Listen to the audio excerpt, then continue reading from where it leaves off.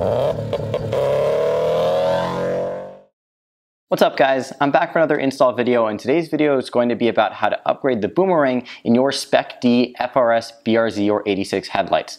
Now what we're going to be upgrading them with is this light bar. This is a 60 centimeter light bar. You can essentially get any 60 centimeter light bar that's of a similar size to this that fits your color preference or brightness preference. Now before this video starts, I want to give a quick shout out to my sponsors. The first one is Apex Race Parts. They make a really nice set of wheels for the FRS and BRZ platform that are track capable, inexpensive, and lightweight. Now, the second one is Verus Engineering. They make a lot of FRS BRZ parts that you can look into to make your car track capable and faster and more reliable. Now the tools that you're going to need to perform this install are the following. You're going to need a flathead screwdriver that's both small but also sturdy. You're going to need a Phillips head screwdriver. You're going to need some wire cutters and then you're going to need a heat gun. So let's get to the install. Now the first step to this install is going to be to remove the six screws holding the casing of the headlight together. There's one, two, three, four, five, and then six down here.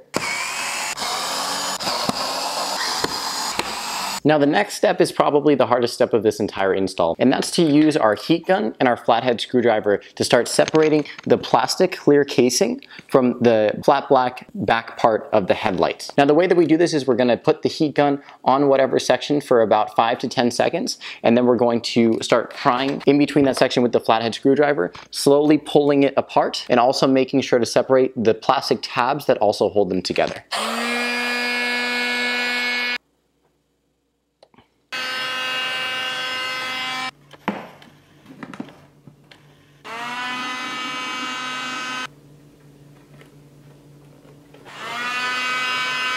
So now as you can see I've separated the lens from the housing. The lens part also comes with the boomerang and all of the uh, internal pieces so we'll get to that next but the first next step is to undo this clip and the way that you do that is by pushing down on the top part right here and separating the two. So now we can put this part aside. We're not gonna be using this part for most of the install. We're gonna take our Phillips head screwdriver and we're going to remove the four screws. One, two, three, four, that hold the main part into the lens. And now we can separate this part and put this lens away. Now the next step is going to be to remove this clear boomerang. And the way that we do that is by removing three Phillips heads that hold it in on the other side. So if you look right here, there's one Phillips head right here, one Phillips head right here, and one Phillips head right here.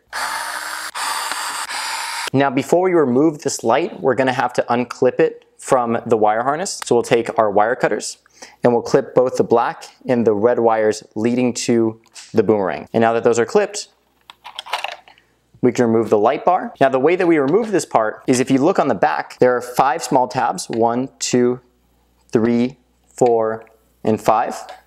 And you're gonna use your flathead screwdriver to go in and push those in. And now once all the tabs are removed, we can go ahead and start to pull this part out. So this can now be thrown away. Now what we have remaining is the flat black housing and we're gonna go ahead and install the light bar that we bought.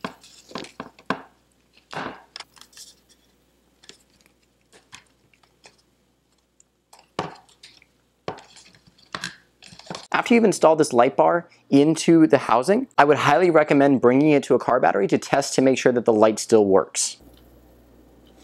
So after you've confirmed that it works, you can now go ahead and continue the install. So now that we have the boomerang properly installed and tested, we can go ahead and start putting the headlight back together. Now the first step to do this is to take the wires coming out of the back of your boomerang and put them through the other side of the headlights so that you can access them when the headlight is put back together. Now my headlight has a two-piece system, so I've disconnected it from the connector right here and run the other side of the wire through here and we'll connect this connector back to the boomerang when I'm putting it all back together. But if you just have a set of wires, then just put the boomerang close and run the wires through this stopper right here. And now we can put it all back together. So now we're gonna grab our clear housing, place it over the boomerang and flip it all around so that we can start screwing the screws back in the holes.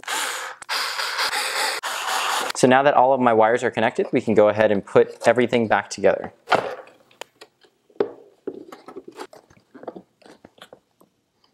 So now you can do a look over to make sure that none of the wires are sticking out. And if they aren't, you can go ahead and start replacing the screws that hold the black part of the housing to the clear part of the housing.